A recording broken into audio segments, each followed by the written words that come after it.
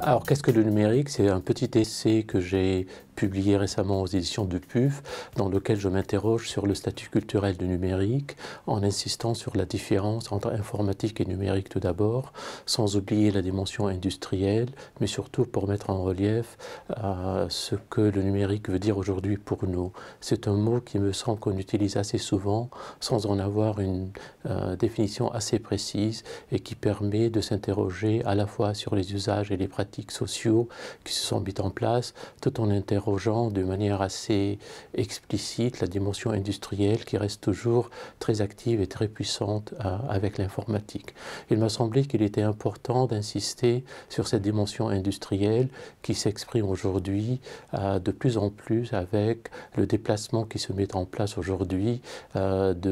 vers ce que, ce que, je peux appeler le paradigme de la recommandation, c'est-à-dire le passage d'un modèle, d'un paradigme de l'index qui a été incarné pendant très longtemps par les moteurs de recherche selon un modèle de pertinence de l'adéquation